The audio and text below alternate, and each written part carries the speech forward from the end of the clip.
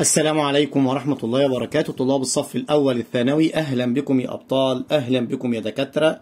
على قناة أستاذ صابر بيبرس في مادة اللغة العربية. إن شاء الله نكمل معاكم لآخر الترم يعني. إن شاء الله لآخر السنة. النهاردة بنحل تدريبات اسم الفاعل من كتاب الامتحان لعام 2024 الترم الأول. حدد فيما يلي اسم الفاعل من الفعل الثلاثي. اسم الفاعل من الفعل الثلاثي نفتكر مع بعض سريعا. يلا بيأتي على وزن فاعل. يأتي على وزن إيه؟ فاعل. طب الأعمى ليس اسم فاعل أصلا مش مشتق. البصير دي صيغة مبالغة. على وزن فعيل صيغة مبالغة. المسيء اسم فاعل ولكنه من أساء. أساء ده فعل رباعي. واسم الفاعل من غير الثلاثي نقلب حرف المضارعة ميم مضمومة ونكسر ما قبل الآخر. أساء يسيء اقلب بقى يسيء المضارع دي اقلب الياء دي ميم يلا وضم ما قبل الآخر السين يلا مسيء.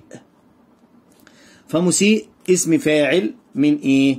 من غير الثلاثي هو عايز ثلاثي. طب الصالحات لما يجي لك اسم الفاعل عشان تتأكد هو اسم فاعل جاي لك بصيغة الجمع أو المثنى أو في ضمير متصل شيل الضمير المتصل طب جمع ومثنى حوله المفرد فالصالحات مفردها الصالحة هو يؤنث. والصالحة على وزن الفاعل شلت التانيث يبقى الصالح صالح من صلح صالح أيوه دي اسم الفاعل من صلح صالح. قال رسول الله صلى الله عليه وسلم كل الناس يغدو فبائع نفسه فمعتقها أو موبقها. الناس ليست مشتقا أصلا. آه. بائع اسم فاعل من باع. نقلب حرف الايه حرف العلة همزة. على وزن فاعل. ماشي. طب معتقة اسم فاعل من أعتق ولكنه غير ثلاثي. أعتق يعتق فهو معتق. شيل الضمير الهادية هتجي لك معتق. وكذلك موبق أو بقى يوبق فهو موبق. وده برضه غير ثلاثي. يبقى الإجابة بائع هي اللي من الثلاثي. الكاتم سر أصدقائه محمود سيرته. اسم الفاعل سيرته ليست مشتقة. محمود ده اسم مفعول وهناخده بعد كده. أصدقاء مفرد صديق لا ملاش علاقة. الكاتم من الفعل كتم كاتم على وزن فاعل. بل كاتم إعرابها مبتدأ. هتعمل عمل الفعل يكتم لأنها استوفت الشروط. معرفة آسف هي معرفة بأل تعمل بدون شروط. تعمل بدون شروط ودلت على الحدث. إذا تعمل عمل الفعل يكتم الفعل ضمير مستتر تقديره هو الكاتب مبتدأ والفعل ضمير مستتر تقديره هو سر مفعول به الاسم الفاعل الكاتم أصدقائه آه ده مضاف إليه لكن زاد معرفة. محمودة سيرته محمودة خبر. سيرته نائب فاعل لاسم, لاسم المفعول. بينهم ظرف بين وهم ضمير مبني في محل جر مضاف إليه. قال تعالى يا أيها النبي إنا أرسلناك شاهدا ومبشرا ونذيرا وداعيا إلى الله بإذنه اسم الفاعل من غير الثلاثي. نقلب حرف المضارعة ميم مضمومة ونكسر ما قبل الآخر. شاهد, شاهد اسم فاعل من شاهد. إذا هو ثلاثي. من شهد. آه. نذيرا دي صيغة مبالغة على وزن فعيل. صيغة مبالغة. مبشرا داعيا من دعا دعا ثلاثي. اذا مبشر آه من بشرا. الشين عليها شدة يبقى مضاعفة يبقى أربع حروف بشر يبشر فهو مبشر. قال الشاعر فإنك كالليل الذي هو مدركي وإن خلت أن المنتأى عنك واسع. المنتأى دي مش اسم فاعل. ماشي. وإن خلت أن المنتهى اسم مكان اسم مكان من غير الثلاثي انتهى ينتهى فهو منتهى الليل مش مشتق. أدرك يدرك فهو مدرك واسع واسع ده اسم فاعل من غير الثلاثي. من الثلاثي آسف على وزن فاعل. أدرك يدرك فهو مدرك. آه شيل لي الضمير هتديك مدرك؟ فكده دي اسم الفاعل من غير الثلاثي. ما مهمل عمله إلا الكسول وما ملوم على قوله إلا الكذوب كسول صيغة مبالغة على وزن فعول ملوم اسم مفعول. كذوب على وزن فعول أيضا صيغة مبالغة. آه أهمل يهمل فهو مهمل. آه وإن اعتمد على نفي مفيش دلالة على الزمن الماضي إذا يعمل عمل الفعل يهمل. ما مهمل عمله آه تبقى ما نافية مهمل مبتدأ وعمله والفعل ضمير مستتر تقديره آسف هنا الفاعل الكسول فاعل سد ما سد الخبر. مذكور ولكن مذكور في أسلوب استثناء ناخده في الترم الثاني. عمله مفعول به تعمل عمل فهم العمل يهمل ماذا يهمل؟ يهمل إيه؟ بنسأل عن المفعول به بماذا زائد الفعل؟ أو الفعل زائد إيه؟ يبقى لو قلنا يهمل إيه عمله؟ عمله مفعول به. يبقى عمله مفعول ميم به. صل اسم الفاعل من الفعل يعين. ده الماضي أعان والمضارع يعين. إذا هو معين. إنما دي من عان عائن ومعاون لا عاون. فهو معاون. ماشي؟ عاون يعاون فهو معاون. دي من عاون اسم فاعل من عاون ماشي؟ عوان صيغة مبالغة على وزن فعال. المصريون يحذرون كل ما يدعو إلى التعصب. يحذر الماضي حذر إذا اسم الفاعل حاذر على وزن فاعل. محذرون اسم فاعل من حذر بتشديد يحذر. المضارع. آه محذرون محذرون دي اسم مفعول من مضمومه فتح ما قبل الآخر. حذرون على وزن فعالون دي صيغة مبالغة لأن المفرد حذار على وزن فعال. حاذرون من حذر آه والمفرد حاذر على وزن فاعل. هي دي صيغة المبا... اسم الفاعل من يحذر. هات الماضي حذر فتعرف ان هو ثلاثي. تجيبه على وزن فاعل حاذر. جاي بصيغه الجمع اسم الفاعل يؤنث ويسنى ويجمع عادي. امسى الجندي يحمل سلاحه. امسى فعل ماضي ناقص ناسخ مبني على الفتحه الجندي اسم امسى مرفوع بالضمة. يحمل سلاحه جملة فعلية في محل نصب خبر امسى يحمل الماضي حمل اسم الفاعل على وزن فاعل تبقى حامل تبقى حاملا سلاحه. محمول دي اسم مفعول. محمل اسم مفعول. من حمل يحمل فهو محمل. محملا من حمل يحمل بتشديد الميم. المصلح يقيم أقام يقيم فهو مقيم. اسم الفاعل كده تبقى إيه؟ مقيم. حدد سبب إعمال اسم الفاعل الذي فوق الخط. اسم الفاعل إذا كان معرفا بأل بس يدل على الحدث ما يدلش على وظيفة ولا صفة ولا اسم شخص. يعمل بدون شروط لو معرف بأل. مجرد من أل يعمل بشرطين أن يدل على الحال يعني الزمن الحالي أو الاستقبال ويعتمد على واحد من ستة نفي استفهام مبتدأ يعني يعرب خبر أو خبر لناسخ أو مفعول به ثاني ظن وأخواتها أو صاحب الحال يعني يعرب حال موصوف يعني يعرب نعت. أداة نداء يعني يعرب منادى. القاذمين اقترن بأل فيعمل بدون شروط. تعمل عمل الفعل يقذم تبقى الألف واللام دي معنى الذين الذين يقذمون الغيظ يبقى الغيظ مفعول به.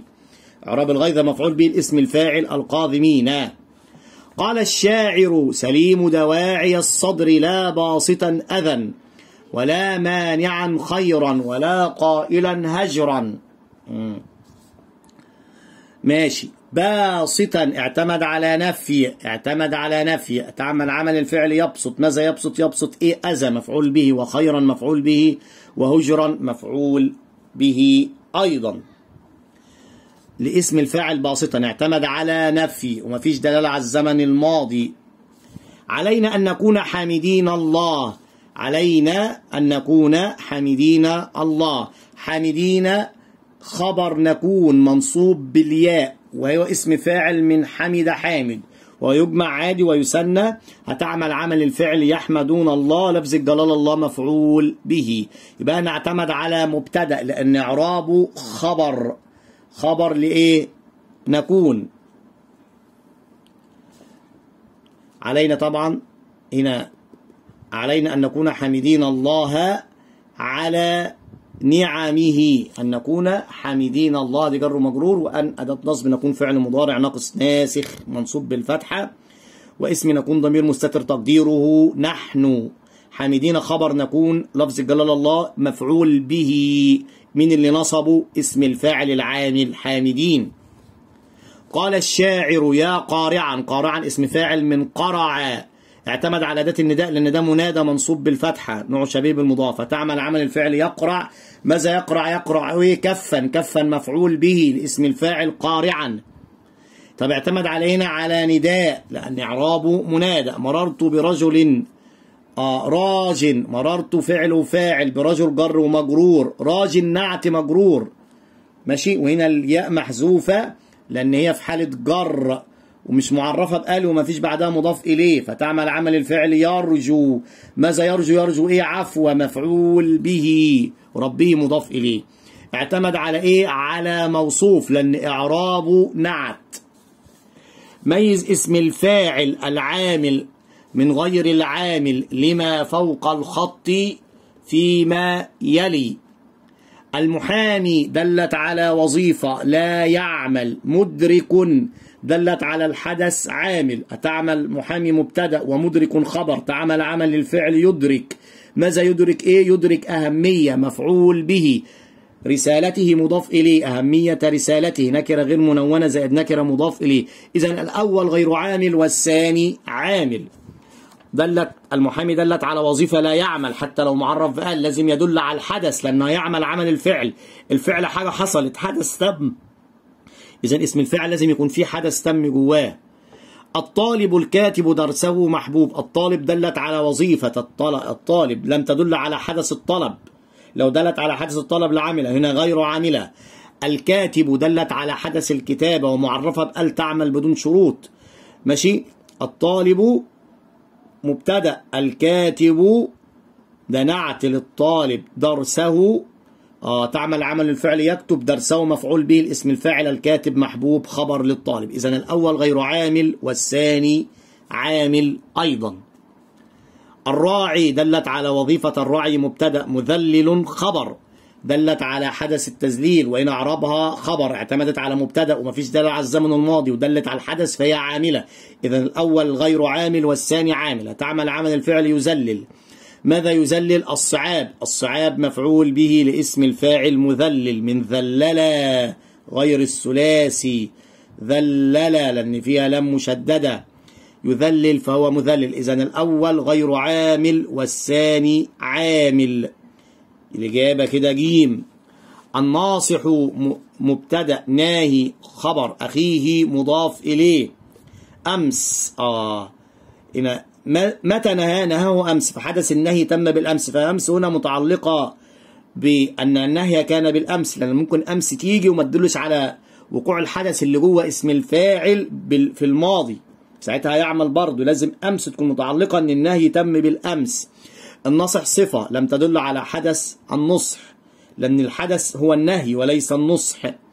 ماشي؟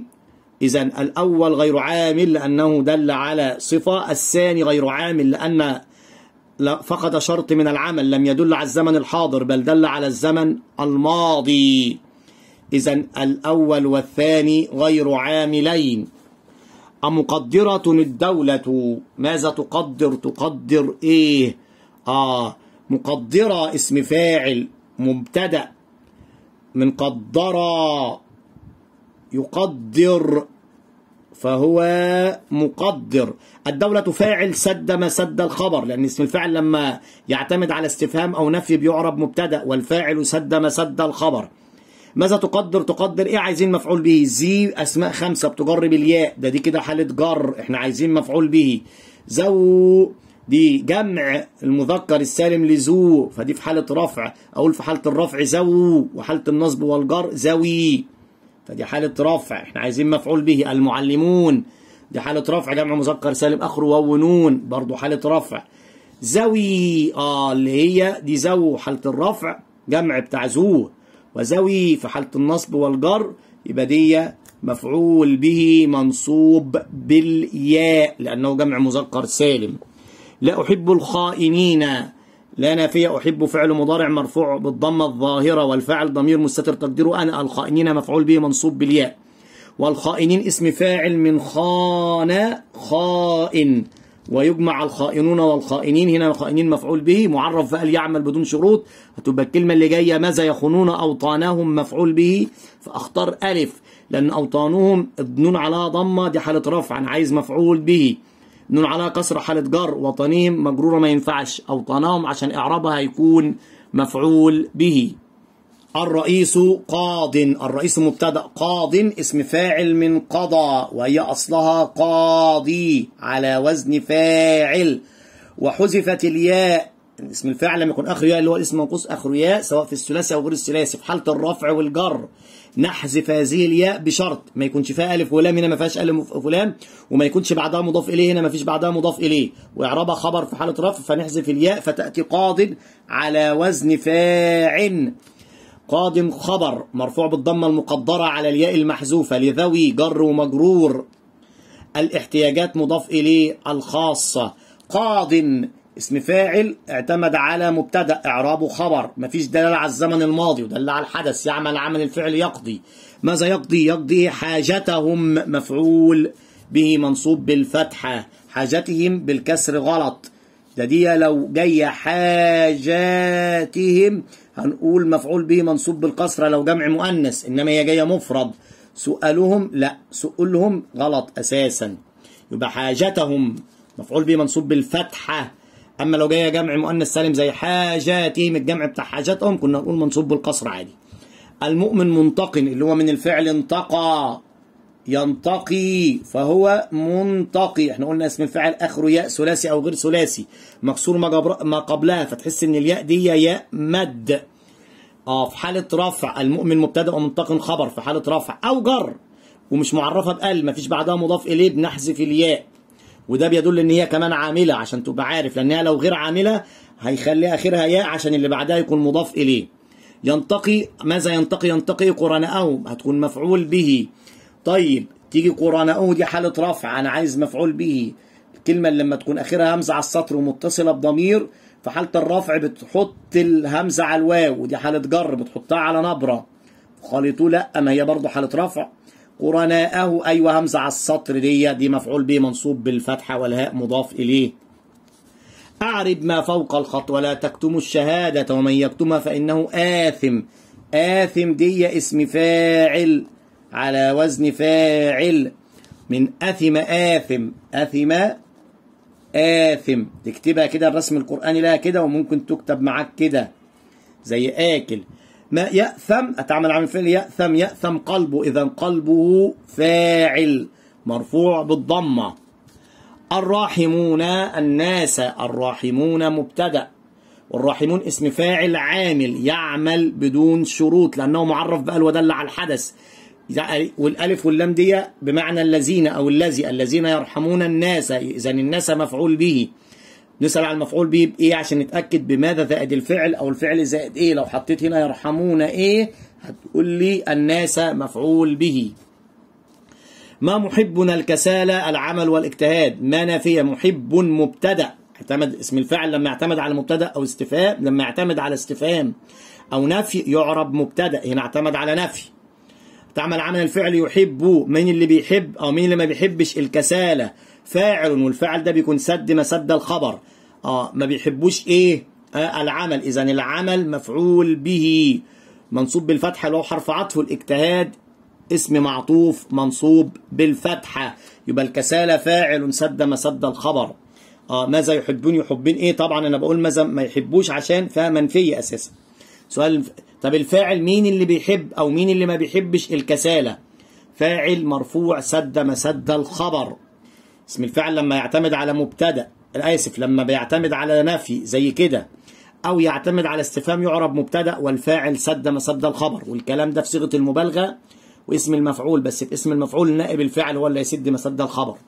يا شاكين السؤال ده جه في ثالثه ثانوي 21 شاكيا منادى منصوب بالفتحة هو اسم فاعل من شكا الثلاثي هو عامل هنا اعتمد على نداء ومفيش دلالة على الزمن الماضي يعمل عمل الفعل يشكو. ماذا يشكو؟ يشكو إيه هم؟ هم مفعول به منصوب بالفتحة. ده جه في علمي امتحان علمي 2020 21 اللي هي أول دفعة في النظام الجديد. أعرب كلمة أهدافهم في الجملتين. الموفقون في الحياة ما لهم أهدافهم؟ بدأ الخبر باسم به ضمير يعود على المبتدأ. إذا ده مبتدأ أول ودي مبتدأ ثاني وواضحة خبر للمبتدأ الثاني. والجملة الاسمية أهدافهم واضحة في محل رفع خبر المبتدأ الأول. الموفقون في الحياة مالهم واضحة. واضحة هي الخبر. وواضحة اسم فاعل من واضح. واضح. وهو هنا تأنس. آه تعمل عمل الفعل يتضح. إعرابه خبر. يعني اعتمد على مبتدأ. تعمل عمل الفعل وضحت آه أهدافهم. إذا أهدافهم فاعل. فاعل لاسم الفاعل واضحة. يبقى مبتدأ ثاني اللي هي أهدافهم الأولى وفاعل لاسم الفاعل واضحة لأن واضحة هنا أعرابها خبر. الموفقون مالهم واضحة أهدافهم صوب الخطأ. أساع إليك مخلص الصحبة. آه أساع إليك. تبقى أساع مبت... ساع سعى ساعي. اسم فاعل إعرابها مبتدأ. مش معرفة بقال ما فيش بعدها مضاف إليه. إذا نحذف الياء وتيجي ساع على وزن فاعل هتعمل عمل الفعل يسعى. مين اللي بيسعى؟ مخلصه آه مخلصه جمع مذكر سالم. اذا في حالة الرفع يبقى آخرها واو ونون. حالة النصب والجر ياء ونون أو المخلصي. وجمع المذكر السالم والمثنى. لما بيجي بعدهم مضاف إليه بنحذف النون تبقى مخلصه. اذا اساع إليك مخلص الصحبة. هي دي. طب حذفنا النون جمع المذكر السالم ليه؟ لأن بعدها مضاف إليه.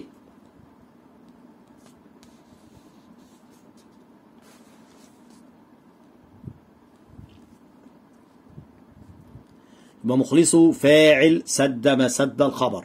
أناهي نفس الكلام في السعي هذه الياء تحذف. مين أناهي ذي العزم رفقاء؟ مين اللي بينهى ذو العزم؟ يبقى ذو العزم دي تيجي كده ذو.